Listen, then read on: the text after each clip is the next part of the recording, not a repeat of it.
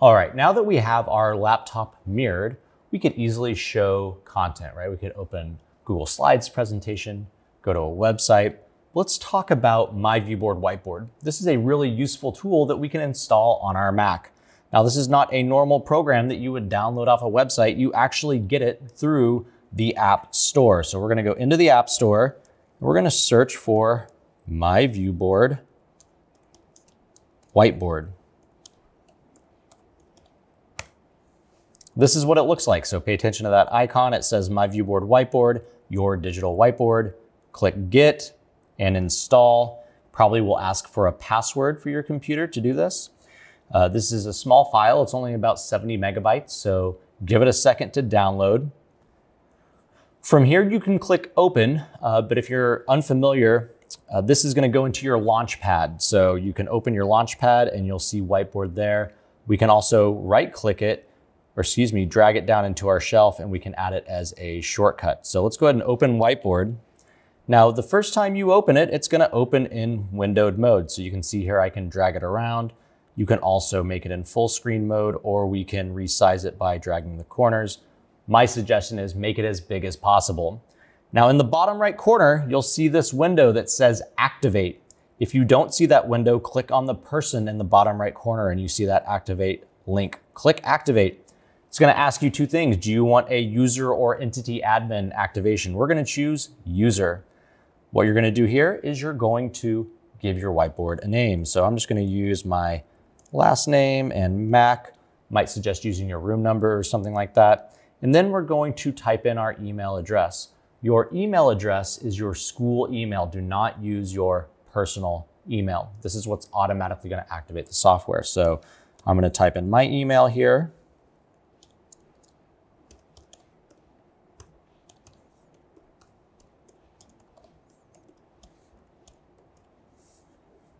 And you have to type it twice because, well, sometimes we make mistakes.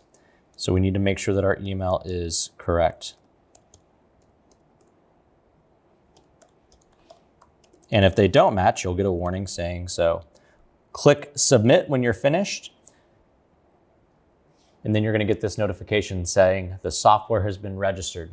If it says you need to go check your email, you may have typed your email incorrectly as a backup plan, just go check your email to see if you got that activation, but it should do it automatically. Now, quick little overview about Whiteboard. Uh, down here in the bottom left corner, this is our navigation. So you'll notice I have this uh, nice welcome screen that pops up. We actually wanna make a new page by clicking the new page button. And you'll see here that that takes me to page two. If I wanna make uh, different backgrounds or change my background color, go down here to the mountains in the bottom left corner. You can see here I can switch to different kinds of colors from my background. And of course, if I'm clicking with my mouse, you can see here I can draw and annotate. And these Mac trackpads are really great for this. I'm not gonna get into all the specifics about the tools of Whiteboard because we have a great video series that talks about what does the pen tool do and the eraser and shapes and all those things. So I encourage you to go watch the videos on myViewBoard specifically. But let's just show you a couple quick things that we can do now that we have it. The first thing is, is that we want to sign in. So that bottom right corner, that person that we clicked on to activate, after you've activated, it changes. Now it opens this window where we can actually sign in. You'll see a spot for your email and password. We're not going to use our email and password. We're actually going to click on the G, G for Google, so we can sign in with our Google accounts. Now that's going to open up your browser. That's okay. Just choose your email from the list. Make sure it's your school email, not your personal one. When you get this notification here that says you have signed in successfully, nice job, you did what you needed to. We need to go back and open Whiteboard.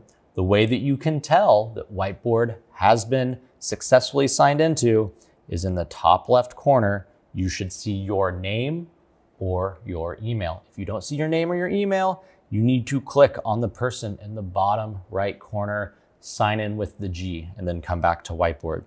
So now that we're signed in, we can do all sorts of great things, such as import content down here from our Magic Box. The Magic Box is your import tool. Look at that. We can import things from YouTube. You have Google Drive. Again, I'm not gonna get into all these. You can go watch these specific videos about it, but it's nice, right? Because you can import a document and immediately annotate or write over it. But one of the things that I love about the whiteboard tool is the ability to do something called throw. You might be like, well, what is throw? Throws happens with our phones, with our mobile devices. So earlier I showed you uh, that we can sign in by clicking on the G.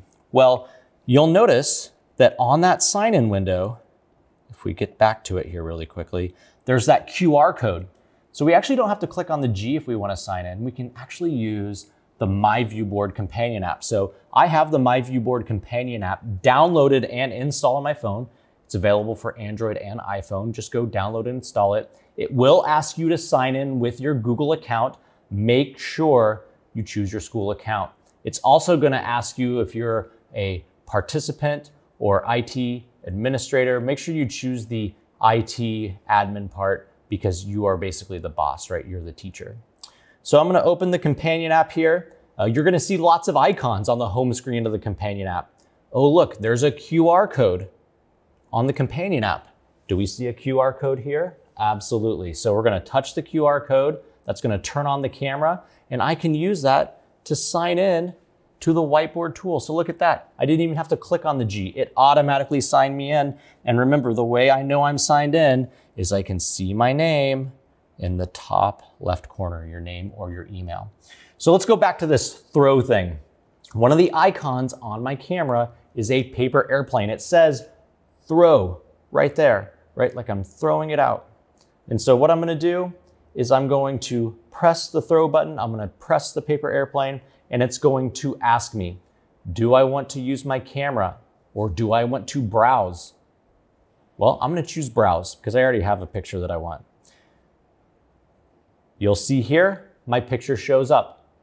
It asks me for a host name. Your host name is whatever is in the top left corner. So if that's your full email, type it out. Once you have your host name typed in, if you look at my phone, you can see I have the host name typed in. And now you can see that little mini paper airplane in the top right corner. That's what you're gonna wanna press next. So I'm gonna press the mini paper airplane, and then I'm gonna get this animation that says throwing, right, or sending. Once it's successful, you'll get a notification on your phone that looks like this. It says success. You press got it because I'm the teacher, right? I'm signed in on my phone here and I'm signed into Whiteboard. It knows that these two devices match. So the next thing it asks me is, do you want to open this automatically? If I say yes, you'll see here my image immediately appears on my canvas. Now I can use my select tool, which is automatically activated. Just do a little click and drag on your canvas and we can drag the corners to make this bigger. So the reason why I'm showing you this is you don't have to run down to the copy room, right, to get uh, your scans made or anything like that. Pull out your phone, open the companion app, take a picture and throw it up here. And because I'm in whiteboard, I can come in here and we can start circling the action verbs here. So that's really cool. The throw tool is for you, the teacher, right? You got a mobile document camera, run around, take pictures of things. But we can also use Whiteboard as a student collaboration tool. So remember earlier I said, hey, when you're signed in, you'll see your name in the top left corner of Whiteboard or your email. Here's a little pro tip. If you click on that, it's gonna open up this window here. See where it says interact with your whiteboard now? It says myviewboard.com slash sharp. S H A R P E. That's my portal. You have your own portal, right? That students can go to. This portal never changes. So you can actually have kids bookmark it. And so what I'm going to do is I have some participants out here. They're going to go to this page. On this page, students will have a couple options. One of them is throw. You already know what throw is you can have students throw things up to the board. Now, the big difference is students are not the teacher, so students cannot automatically open things when they throw. So there's a couple ways we can test this. Uh, the first thing is, uh, and again, I'm gonna have my participants out here start throwing something to me. But if you look there in the top right corner of whiteboard, there's a little bell. And right now it says number two on it. What that's telling me is I have some notifications. Some things have happened uh, in the background. But again, they cannot open it automatically. So if I look here, I can see that Dina has thrown something to me that Blake has thrown something to me. So I can click on their names. This actually opens the magic box And look, there's the paper airplane there, right? The paper airplane is my throw tool. And so here's my picture. So what I can do, double click on Blake's picture here. And what that's gonna do is it's going to open it. And here he is. He's got a great, beautiful picture of the mountains. That is so pretty. So the way I use the throw tool with students is I have them screen capture their work. Chromebooks have great screen capture tools. They can take a snippet and throw it up, or they can take a picture with their webcam of their work. They can hold their paper up, take a picture, and throw it up. The point is, they don't need to email it, they don't need to share it. You can open it directly in Whiteboard by having them go to the portal and click on the paper airplane to throw. So that's one way we can use Whiteboard. The other way we can use Whiteboard is we can have students do what we call a pop quiz. Pop quizzes are great ways to do some formal and informal assessment with students, and they can do it directly from their devices. So earlier I said, hey, the magic box, this is where we import. This is where we bring stuff in.